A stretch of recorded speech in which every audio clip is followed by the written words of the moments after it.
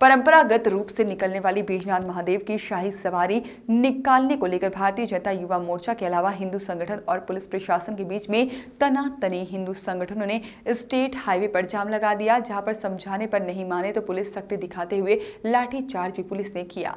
सवारी दोबारा निकाले जाने को लेकर पिछले एक हफ़्ते से प्रशासन पर हिंदू परिषद के अलावा भक्त मंडल द्वारा लगातार दबाव बनाया जा रहा था। आज प्रस्तावित सवारी को रोकने के लिए सुबह से ही मंदिर परिसर के आसपास भारी पुलिस बल तैनात कर दिया गया था।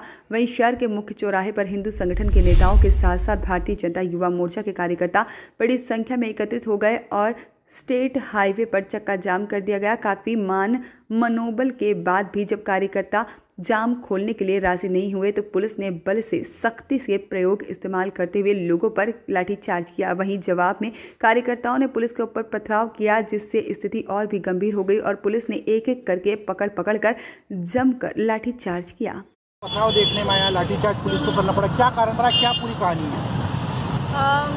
बाबा बैजनाथ की सवारी को लेकर के यहाँ पर कुछ युवा संगठनों के द्वारा चक्का जाम किया गया था। चक्का जाम के दौरान उनसे बात करने की कोशिश की गई उनसे बात की गई लेकिन भीड़ उग्र हो गई थी उन्होंने पुलिस वाहनों के कांच तोड़ना चालू कर दिए पुलिस के ऊपर उन्होंने पत्थरबाजी की इसी को लेकर के हल्का जो है उन सबको हटाया गया है यहाँ से पथराव में कुछ पुलिसकर्मी घायल हुए हैं? इस तरह की कोई सिचुएशन अभी तक सामने आई है? इस संबंध में अभी कोई ऑफिशियली जानकारी नहीं है क्योंकि अभी हम सब लोग यहीं पर लगे हुए हैं और कुछ फोर्स हमारा थाने की तरफ़ गया हुआ है।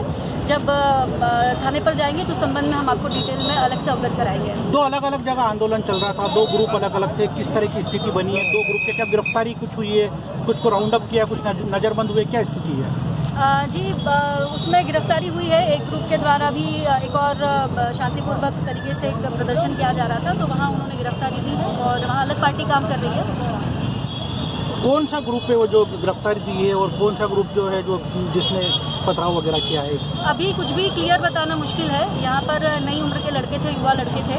और अभी उन सबकी पहचान की जा रही है सभी की विधिवत वीडियोग्राफी की गई है फोटोग्राफी की गई है और सभी को जल्दी ही चिन्हित करके वैधानिक और सख्त कार्रवाई की जाएगी। Thank you thank you voice of rights के लिए आगरमालवा से एहतशान खान की रिपोर्ट।